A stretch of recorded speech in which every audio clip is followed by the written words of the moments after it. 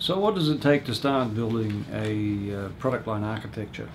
Well, like most things, a little forethought and planning will go a long way. Um, this uh, this question has been contemplated uh, not only for product line architectures, but also um, when object-oriented programming first started, people were starting to look at, oh, okay, now we have um, now we have the capability of, of reuse, and so we ought to think about what kind of things we need to do to make these objects we are developing reusable. Now, the same kind of thing goes for uh, product line architectures. What do you have to do to make the architecture more general and more potentially reusable by other uh, products, uh, related products in this particular product line?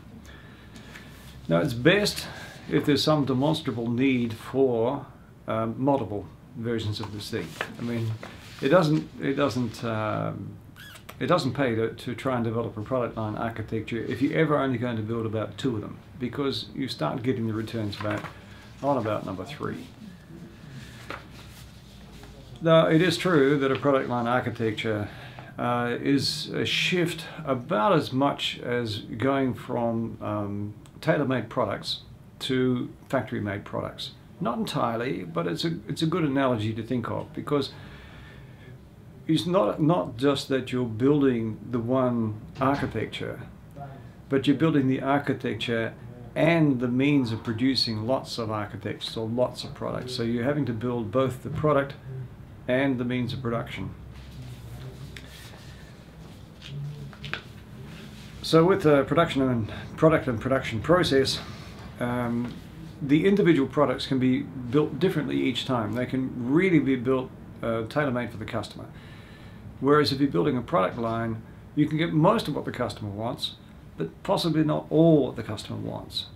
But in return for a much lower uh, price, much lower cost, and a much uh, faster um, time to deliver. A, you have to have this consistent development method uh, or the, the, method that produces consistency. And that uh, reduces flexibility and responsiveness, obviously, um, but with increased um, increased quality and uh, reduced time to de develop. Now for architecture for product lines, of all the assets in the asset repository, the architecture is probably uh, the most valuable. It's certainly the one with the most consequence, um, simply because it's probably about the first thing, um, the first thing that gets developed that then has quite a significant effect on the kind of product that you're going to build. So it's a, probably a very uh, central element and uh, very expensive. The essence of building a successful product line is discriminating between what's expected to remain constant and what's expected to vary. Now, you might think that's a fairly obvious statement, it, it may be. Product line architecture concerns itself with a set of explicitly allowed variations. And obviously the, the um, opposite of that is um, explicitly disallowed variations. So some things must remain constant and some things do, do vary. So product lines uh, architectures do need to consider three things. To identify the variation points, to support the variation points, and to evaluate the product line architecture for its suitability. How do you get started? Well, you could do a lot worse than to start with the business process and try and understand that.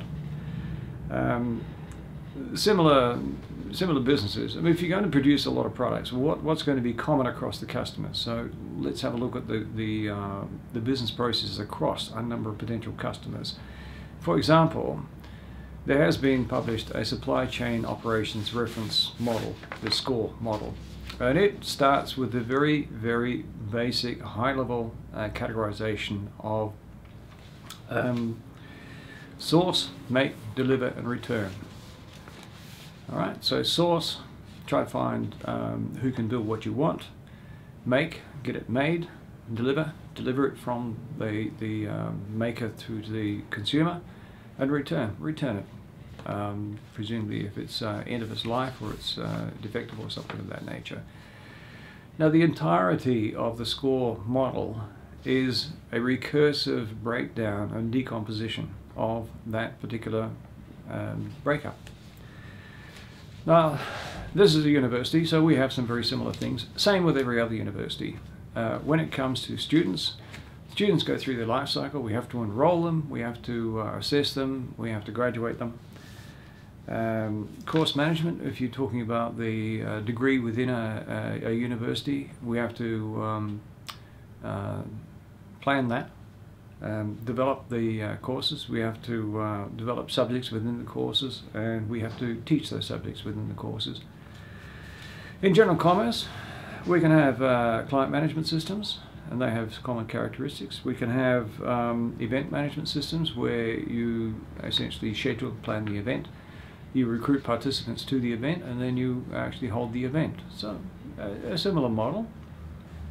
Inventory management systems, you have uh, acquire, maintain, dispose, lend, return. You have very similar uh, processes. So the whole idea there is that uh, with product lines, try and identify the common business processes or common processes across the potential market for it. When it comes to identifying variation points, um, have a look at how does one organization differ from another. Are they different uh, in um, technology, the scale of them, the peripheral components, uh, performance requirements, uh, languages and other user interface features, right? so usually you have one. The things that are pretty hard to change are things like the workflow, because that's embedded across so much of the architecture. Is the, the workflow is actually pretty much implemented in the architecture it would be very difficult to change that without changing the fundamental architecture. Interfaces and infrastructure. Um, the interfaces do tend to be somewhat um, fixed within the architecture uh, because we're talking about the interface between architectural components, not the user interface. Uh, limits, whether they're anticipated or not. Um, most architectures do run out of steam when the limits are reached. Supporting the variation points. Um, there are three major tactics for doing this. Uh, first one is parameterization, so you can put up uh, some, some particular variations and just have a parameter to tune it. You can have information hiding and inheritance. Now they are the three main ones that are used to uh, implement variation points. Now what makes software product lines are difficult. If you're, if you're setting out to, to develop a product line and you haven't done it before, what's going to get in your way? Well, there's a certain amount of resistance to adopting a product line uh, approach within the organization. Um, now, that, um, I'll deal with that, uh, more about that in a minute. Support tools like configuration management systems uh, do need to handle the um, increased complexity and it's difficult to convince the customers they can't have everything they want. Uh, if they're accustomed to dealing with one organization and you know as a as a sole supplier, they expect that you'll be able to do everything that they want and when they want it. But with a product line, um, now you're dealing with um, things that pretty much every customer must need before you can implement it, or it has to be part of the um, the individualization of the product for different customers. Now, product lines do evolve. Um, it, would be um, sad to think that uh, once you've once you've set out the product line, once you've designed the product line, that's it. It, it never changes from there. They do evolve, and uh, possibly your architecture does need to anticipate that they will evolve. Core assets must evolve if possible, because we learn how to do it better as time goes on. Evolution must be controlled to avoid feature bloat, mismatched components, and blind alleys. Right, that's something you do. Customers do learn the system and, and absorb the lessons of the system. When any new system or capability uh, is first released, uh, it usually provides um, capabilities that people are not accustomed to, or customers haven't got. But it doesn't take long before they get that in, in place and they learn that, they absorb that, and that becomes the new normal. And now we're starting to look for new features. So you're going to get feature requests that come out. Eventually, the system will encounter, encounter its architectural limits.